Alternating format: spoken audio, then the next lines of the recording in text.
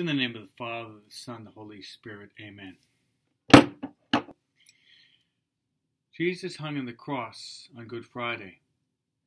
From the cross, Jesus gave his last sermon. We call this his seven last words. Listen to the seven last words of Jesus on the cross and ask yourself which of these words or short sentences seems to speak most to your heart?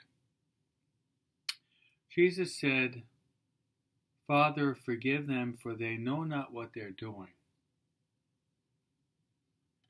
Father, forgive them, for they know not what they're doing.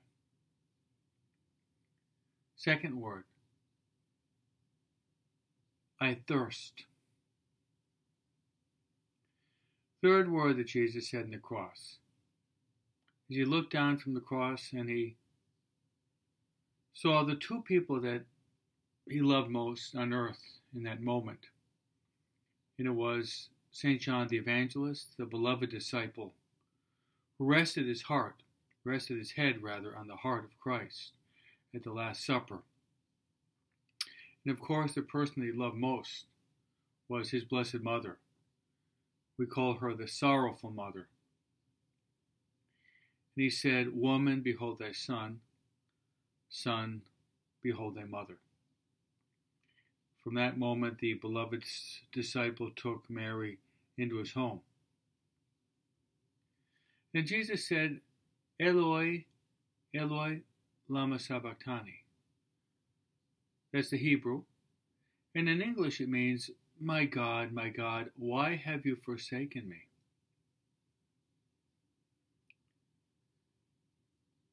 And Jesus, in dialogue with a good thief, the good thief said, Lord, remember me when you come into your kingdom. Jesus responded by saying, Amen, I say to you, today you will be with me in paradise. And then Jesus says, Father, into your hands I commend my spirit.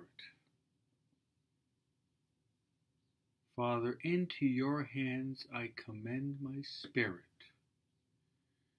Finally, the last word that Jesus utters before he dies, breathing forth his spirit into the hands of God the Father, were these words It is finished.